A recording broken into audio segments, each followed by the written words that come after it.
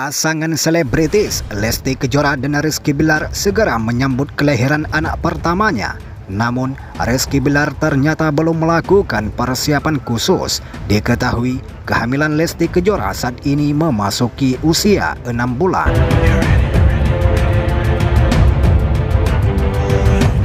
Terkait hal itu, Rizky Bilar mengungkapkan alasan belum melakukan persiapan menyambut kehadiran anak pertamanya. Sebenarnya, Lesti Kejora sempat membeli beberapa perlengkapan bayi.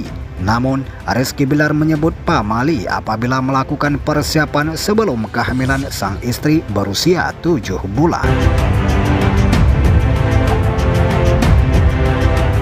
Dede sebenarnya sudah diam-diam beli sesuatu, tapi saya sendiri kan bilang biasa pamali ya, ujar Bilar. Rizky Bilar juga mengatakan belum bisa memastikan jenis kelamin sang calon buah hati.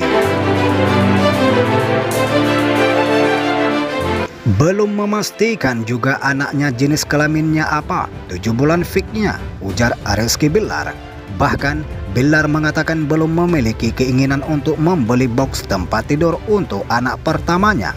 Hal itu karena ia tak ingin Lesti ingin tidur bersama anaknya di ranjang yang sama. Di sisi lain, Lesti dan Bilar sudah mempersiapkan nama untuk anaknya. Lesti dan Bilar sengaja mempersiapkan dua nama untuk anak laki-laki dan perempuan.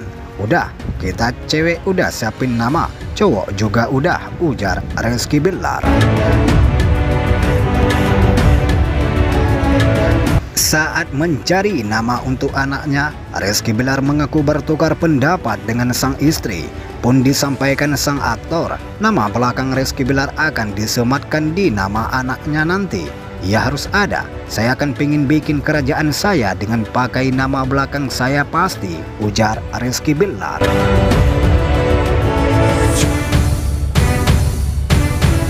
Begitulah informasinya, jika ada kesalahan kami minta maaf.